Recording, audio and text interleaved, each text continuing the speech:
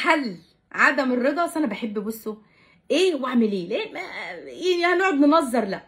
حل عدم الرضا في إن أنا أشوف النعم اللي عندي.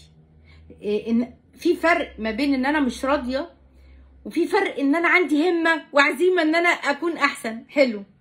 همة وعزيمة أكون أحسن ده حلو.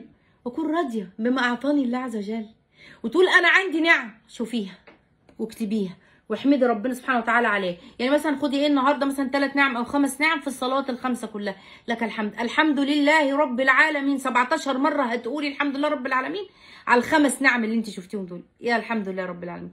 الرحمن الر عليهم. إيه هي؟ اكتبي. اكتبي. أنا أعرف ناس بيجيبوا 3000 نعمة. وموجودين موجودين. اكتبي الكلام ده وشوفي انت عايزة إيه. وايه اللي عندك. وايه اللي يخص إيمان عن إيثار. وايه اللي عندي إيثار دون عبير. شوفي.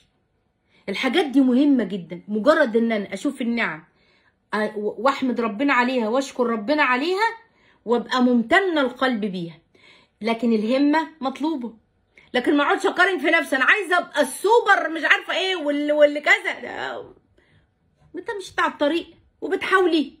وعلى الطريق وبتحاول خلاص توكل على الله خلاص هيدجيك وهتبقي زي الفل. بس حتى لو ماشيه مشي السلحفاه أحب الأعمال إلى الله أدومها وإن قلت. بس دومي. وال وال والحاجة الجبل الكبير ما هو كان أصله حصى صغير كده. وبعدين بقى جبل كبير فما تستصغريش. المهم إن أنا ماشية في طريق ال- الأمر ده.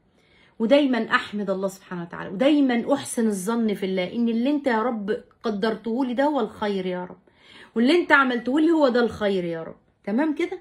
أدعو الله سبحانه وتعالى يرزقنا وإياكم الرضا عن الله. أنتوا عارفين اللي مش راضي معناها إيه يا بنات؟ ودي حاجة توجع القلب. أنتوا عارفين اللي مش راضي ده معناه أنا مش عاجبني استغفر الله. أنا أنا أنا مش عاجبني الفعل اللي حصل من ربنا. أنا مش عاجبني الفعل ده. لا لا مش إحنا. إن شاء الله يا رب مش إحنا. أنا راضيه يا رب. وممكن أكون مش شايفة الخير فين دلوقتي بس أنا عندي يقين من جوه إن فعلك خيرية مطلقة وحكمة مطلقة. دي عقيدة. دي ألف بقى عقيدة. أدعو الله سبحانه وتعالى يرزقنا وإياكم الرضا اللهم آمين.